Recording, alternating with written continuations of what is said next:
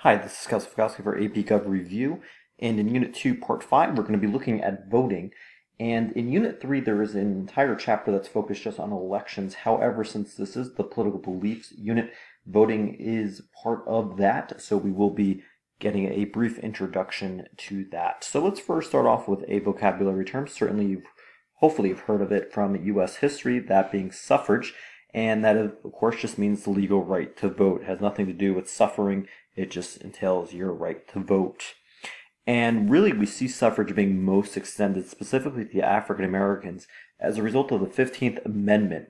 During the age of Reconstruction, right after the Civil War, white Southerners tried to restrict African Americans' ability to vote by imposing things such as poll taxes, that you would actually have to pay taxes to vote. You'd actually have to pay a sum of money. Um, so with the little money that they had from sharecropping or tenant farming, really you weren't going to spend it on voting. In addition, literacy tests, you would actually have to show that you could read and write. Well, if you were just a freed slave, you probably did not possess that ability as opposed to a white person. And then you also had grandfather clauses, which essentially said if your grandfather had voted in prior elections, you did not have to necessarily pass a literacy test. So this grandfathered uh, white Southerners in specifically.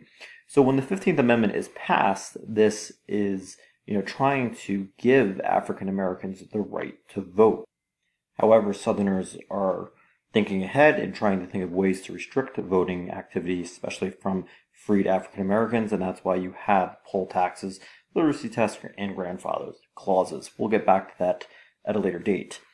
In addition, um, when we look at suffrage, it was significantly extended to 50% of the population as a result of the 19th Amendment, which came about in 1920.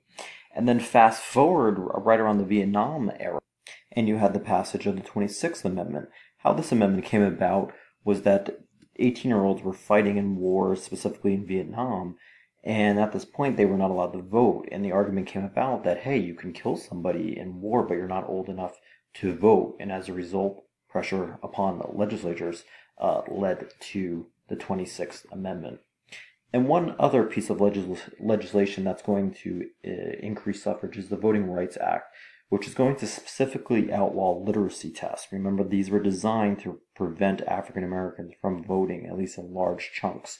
As a result of all of this, you're going to see increase in suffrage definitely be aware of the suffrage amendments from the 15th, 19th, and 26th. I'm sure you'll see some type of question, whether that be an FRQ or a multiple choice question. Now, when you look at voting specifically, the United States has one of the lowest voting turnouts, especially when you look at congressional elections, but that's certainly for another time. Now, one person uh, with the name Downs basically stated that it is rational really not to vote, that if you don't really see clear differences between parties, you're not going to vote. And this indifference, it makes it seem that rationally you would abstain from voting. There are some people out there that say Democrats and Republicans, they're, they're really the same types of people or they both stink. And as a result, they're not going to, to vote. Now, among some of the reasons for this decline include voter fraud. We're talking specifically in the 19th century.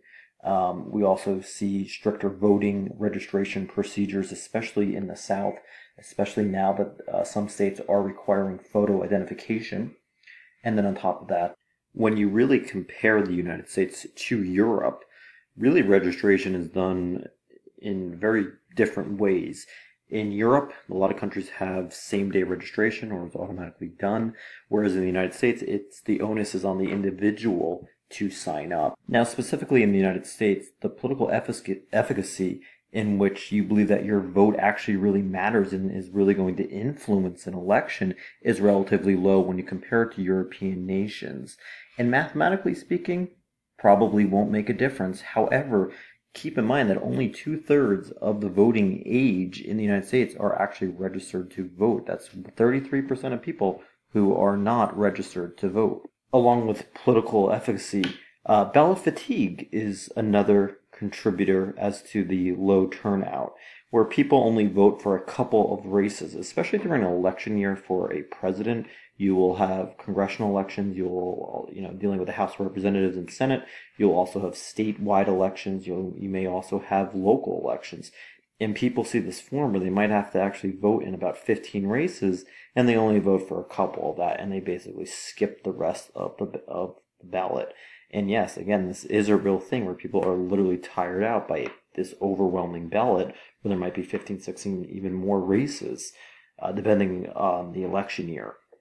Now, other people are going to vote, you know, regularly um, as a result of seeing that it is their civic duty. The belief that in order to support democratic government, a citizen should always vote. So that this was a right that was fought for and you know founding fathers really embedded into the constitution and thus it is one's responsibility in a democratic society to vote on a regular basis. So that's why some people vote but also you have a number of reasons as to why people don't vote. Now when we look at reported turnout rates Amongst 18 to 20 year olds, a mere 29% actually vote. But notice the steady increase. As one gets older, your likelihood to vote is going to dramatically increase because you might be more invested in the election. You might see a greater impact on the election, specifically with taxes. Whereas when you're 18 to 20, you might be in college and you may not really see how politics is going to affect you, whether it's going to be socially or economically. Now, when we look at level of education, same thing is true here. As you gain more education, the more likely you are to vote. 72% of people with a bachelor's degree or higher are going to vote in elections compared to a mere 31% when you don't even have a high school diploma. In terms of race, whites are most likely to vote and Hispanics uh, just a little bit before African Americans and Asians. Uh, women, interestingly enough, are more likely to vote than men just by a small margin. Married people are also more likely to vote compared to single people, and unions, which are very political politically active, are also much more likely to vote as opposed to non-union members, as of course unions tend to be tied to politics and political activity. Now, when you look at the decline of turnout, I mean, notice at one point around 1896, you had about 80% of uh, eligible adults voting in the election. Now, notice how that has significantly decreased over time, even dropping quite dramatically in around 1924. And really, it has not really recovered um, beyond about 50 to 55 to 60 percent, even when you do extend this into 2008, 2012. Um, so again, the United States does have an issue with turnout. Now, one thing that has been used to combat this low turnout rate is with encouraging voting registration. Now, voting registration is going to vary by state. Uh, two thirds, as I mentioned earlier, of the voting age are registered, but that leaves a third that are not voting, uh, which is very, very, um, very high uh, for a modern world uh, nation. Now, things such as how attached you are to your political party, um, or automatic registration when you're 18, like European nations have. Other nations have compulsory uh, voting laws. Um, you're going to see higher rates, obviously. Now, one thing that the United States has done specifically is the Motor Voter Act, uh, otherwise known as the National Registration Act of 1993, which requires states to permit people to register to vote when they are applying for their driver's licenses. So when you're uh, turning 17 um, and you are going to get your license, you can already pre-register to vote from when you become 18. Now, this created an initial surge of voters. However, just because you're registered to vote doesn't necessarily mean you're going to vote. So, as a result, this has had mixed results, hasn't really increased voting turnout all that much. It's only just increased the number of people who are registered. Now, there are some states that do have election day, uh, same day election day registration um, they're going to have higher turnout, obviously, as opposed to other states, like, for example, New Jersey requires you to register before the election. And if you don't register uh, before the election, you cannot vote that specific day. So again, it really depends on the state. So as we mentioned earlier, the more education you have, the more likely you to vote. The more attachment you have to a political party, you are more likely to vote as opposed to independence. Older you are, more likely to vote. You can also think to some extent you have more more free time, especially since older people tend to be retired. Race, again, Caucasians more likely to vote, but other ethnicities uh, with a comparable education are actually higher than whites. And as we mentioned earlier, females are more likely to vote. Marital status, union, certainly going to increase that. Um, and so the more of these traits that you have, the more likely you are to vote. So if you're educated, uh, you're female, you're in, you're in union, you're really very, very much uh, likely to vote in an election. Now, some facilitators and obstacles to participation. Well, if you have voter registration, that of course is going to be an obstacle to participation, as opposed to states that have same day registration, they're going to have higher turnout rates. Uh, a new sort of recent phenomenon has been voter identification laws, which requires you to possess a photo ID in order to vote. And this has been a claim by Democrats that this is a way for specifically Southern or Republican states to thwart minority voting. You can follow a link where there's a daily uh, show uh, by Jon Stewart, a clip here um, about that should you wish to check it out. Also, apathy. Some people just don't care about elections. They don't care about politics. They don't think it affects them. And as a result, they're not going to participate. Certainly, another facilitator is going to be the extension of suffrage as a result of things such as the 15th, 19th, 26th Amendment. These are things that are going to enable people to participate.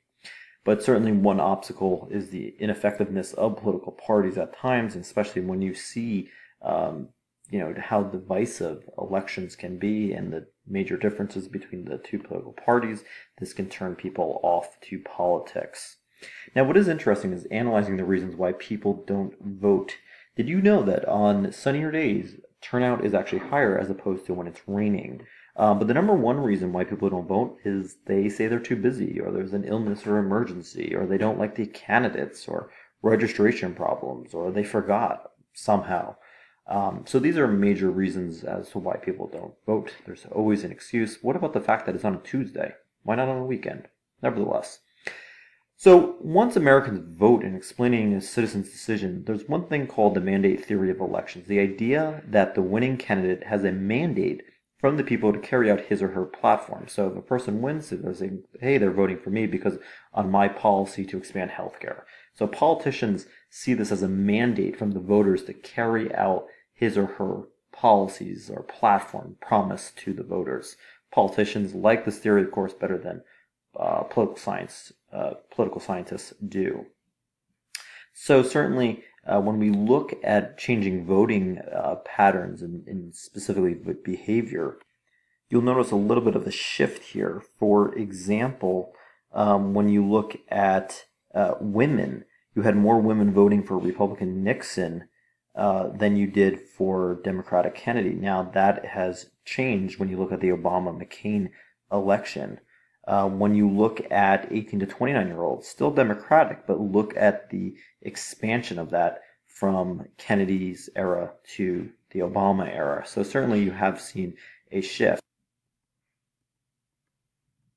So ultimately, how Americans see the candidates, candidates want to have a good visual image. This is where making media appearances, whether it's on late night comedy or on the daily uh, television shows and, and news outlets. That's very important. Personality plays a major role, especially you want to come off as honest. You don't want to come off as incompetent, and these go a very, very long way. Now, what is interesting is that many people do not necessarily base their vote on policy voting, basically where the candidates stand on an issue. But it can occur when voters do know when there are differences between the candidates, but we don't see policy voting happening that much because the media tends to focus on the horse race of the election as opposed to the specific issues. So that's important because candidates not don't always take a specific uh, stand, and this can leave voters in the dark. Now, in terms of the greater the policy differences, you're going to see uh, the more likely that voters will be able to steer government policy by their choices. But again, since uh, it can be difficult to hold a candidate's feet to the fire and get a specific answer, this does not always happen. Now, sometimes people vote in what's called retrospective voting here, in which you base your vote on what a candidate has done for them lately, specifically in incumbents. So if they feel that they're worse off based on how they were with incumbents or there's a bad economy, then they may become a retrospective voter and say, you know what, this person did not help at all.